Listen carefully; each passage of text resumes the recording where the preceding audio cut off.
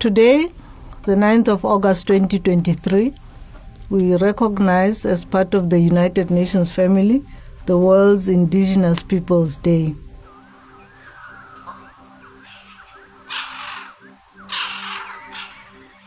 This year's theme, which talks about indigenous youth as agents of change for self determination, speaks directly to young people who need to take pride in the fact that they are the indigenous people of each and every country.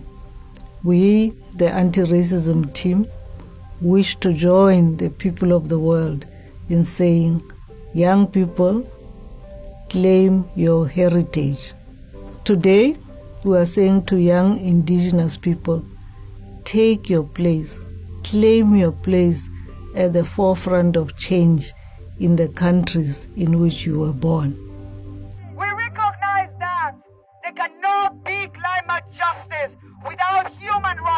And indigenous people's rights. Indigenous people, young people should know that indigenous communities have been victims of racism in many countries.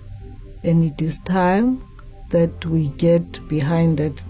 We urge young people to engage with the United Nations to ensure that indigenous people are not marginalized and left out of development in their own countries. We urge the United Nations family from the anti racism team that let us all unite to ensure that we put a stop to the marginalization of indigenous people. In particular, we urge young indigenous people to take control of their own destiny.